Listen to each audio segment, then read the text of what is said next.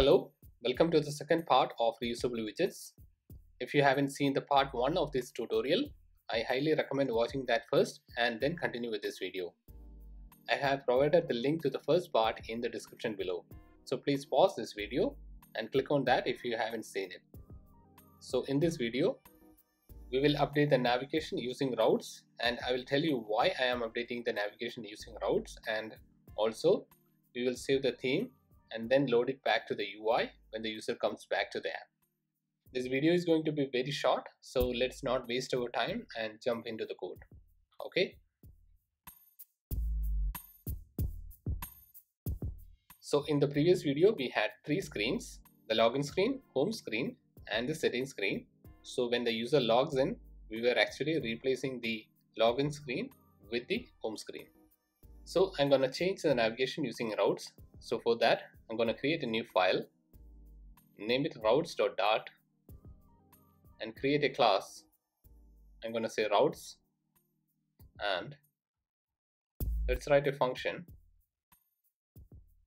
static routes that's going to return a list of route IDs. So we need to declare the route ID in each screen first.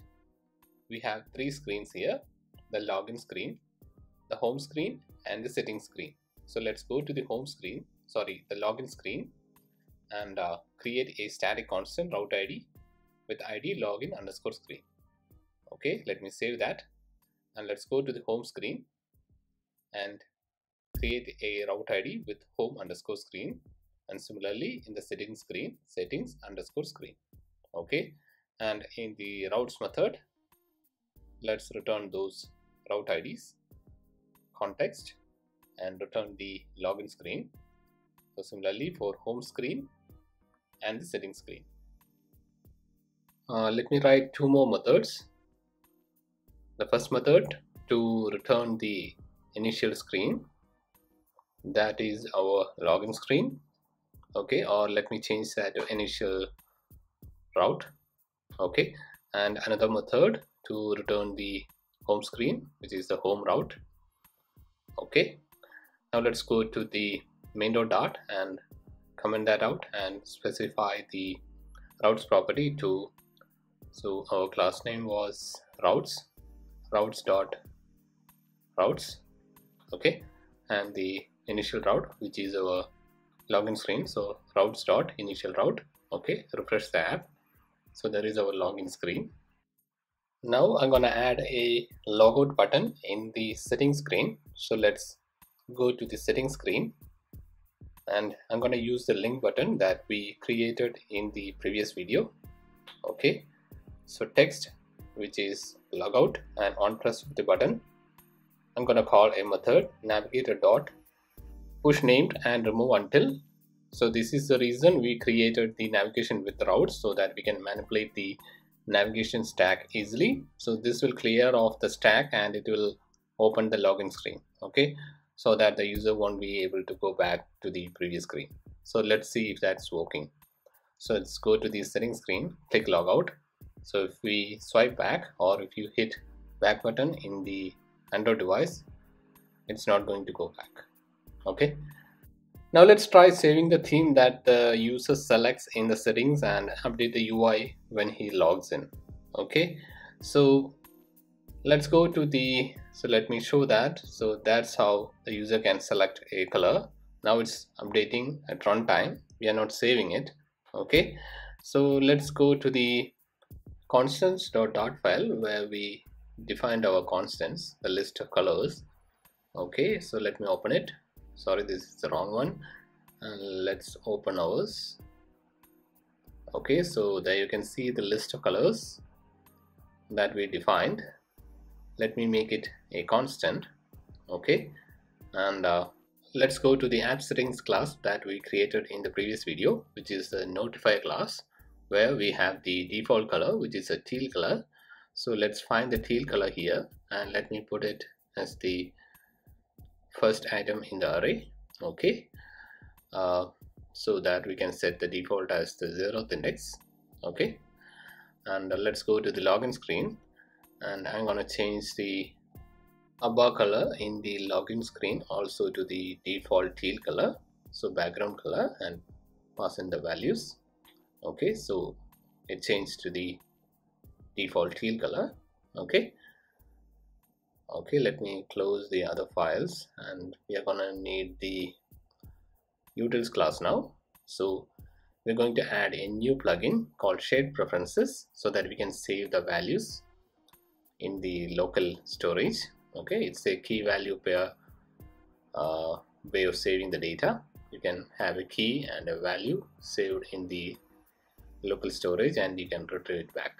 Okay so I have added it and uh, I called the flutter packages get to install the package. Now I'm going to copy some code and paste it in the utils class so that we can get a an instance of the shared preferences. So import the shared preferences okay? So we got the handle to the shared preferences here. And let me define some keys. First one is the theme index key. So this is the key by which we'll be saving the theme index okay and another key logged in to save if the user has logged in or not.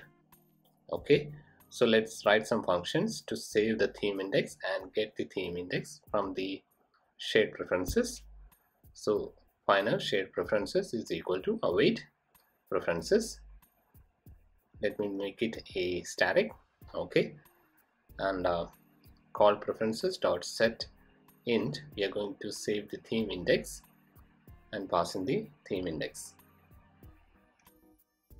Similarly, let's write another function to get the theme index from the shared preferences. So static get theme index and call in theme index is equal to preferences dot get int and pass in the theme index key. So initially it will be null. So if it is null, we are resetting it to zero and returning the theme index. Okay. So similarly, let's write the two functions to save the logged in key which is a boolean and call set boolean with the logged in key. Okay and the getter method is is logged in where we are going to check if the is logged in value which is returned is null or not. So initially it will be null. So we are going to write like this. If if it is not null and if it is true that means the user is logged in. Okay. So otherwise if it is returning false that means the user has not logged in or he has logged out. Okay. So let's try it out. I'm to open the login screen. So where the user actually logs in. So that is the place where we navigate to the home screen after login. So there I'm setting the logged in to true and in the settings screen I'm setting the logged in to false when the user logs out and when the user taps on a color in the settings screen I'm going to save the theme index in the preferences. So now we have the theme index and the logged in value in the preferences now we can see how we can retrieve it and make use of it. So call widgets flutter binding dot ensure initialized if you are making the main method asynchronous. Okay and let's get the initial route. And we are going to check if the user is logged in. So get the logged in value from the preferences by calling utils dot get sorry utils dot is logged in. And we are going to check if it is true then we are setting the route to home route and we will write a constructor for the home app and we will pass the route there. Okay so final string route okay and pass in the route for the home app. Okay now let's use the route. Let's set the initial route to the passed in route okay so if the user is logged in then this route will be the home screen. I think I have an issue here. So that's a missing plugin exception. So let me try to reinstall the app. Okay. So I have reinstalled the app. Now let's try to log in. And I'm gonna refresh the app. So you can see that our route is now the home route. So let me show that. So you can see that is logged in is now true and it will return the home screen. Okay. Now let's try to load the saved theme and theme our app. Now we are saving it but we are not actually using it right? So let's go to the home screen and I'm gonna override the init method and write a new method init theme. Here we are gonna get the theme saved by the user which is the theme index. Now let me open the app settings class where we have the method to update the color the app color. So that's the update color method. That's going to accept an index and get the uh, color from the colors array and update the color. Okay. Now let's go back to our method init theme and we are going to get the theme index which is saved by the user so call utils dot. Let me import that and get theme index. So that's going to get the theme index saved by the user. And we need to call the update color method. So this is the syntax to call it. And pass in the theme index. That's going to update the theme color the app color. Okay and call init theme. So let's try that. So you can see that it's retaining the brown color that I selected. So you can see that when we log out it's still retaining the color right? So we need to reset the theme. So when the user logs out I'm setting the color to the zeroth index which is the teal color. Okay and one more thing we need to do we need to set the saved value the saved theme index to zero. So when we restart the app you can see that it switched back to the default color. So if I log in and select a different color and if I restart the app you can see that it's retaining the brown color. And when I log out it's resetting back to the default color. Okay? Alright so so that's all in this video. This was a really simple example of using reusable widgets and theming your app. Make sure to watch the first part of this tutorial to completely understand this video. Link to the video is there in the description if you find this video useful please do like subscribe and share and also please leave your valuable comments below this video I'll be providing the link to the source code for this demo in the description.